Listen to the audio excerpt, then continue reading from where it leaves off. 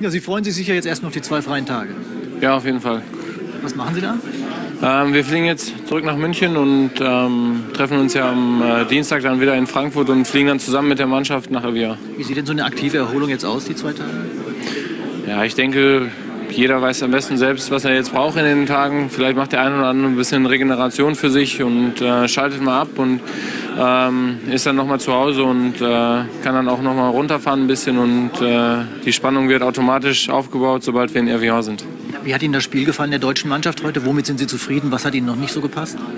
Ich denke, positiv war erstmal, dass wir zu Null gespielt haben, dass wir eine ordentliche Defensivleistung gezeigt haben und äh, dass wir die eine oder andere Chance hatten. Ähm, das äh, haben wir gesehen und ähm, vielleicht auch noch eine knappe Abseitsentscheidung, äh, wo wir dann vielleicht auch ein Tor erzielt hätten.